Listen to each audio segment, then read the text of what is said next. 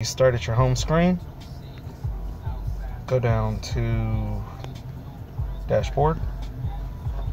When you get to dashboard, you want to go to adaptations. And you want to scroll down until you find fixed distance covered since last mileage dependent inspection.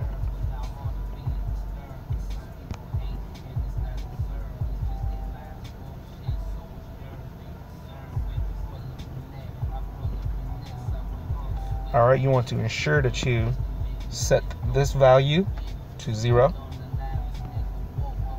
You will hold the green arrow and that's going to pretty much reset that value. The next one you're to scroll down to is fixed time since last dependent inspection.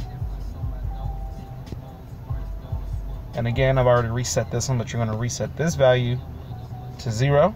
Press OK click and hold the green arrow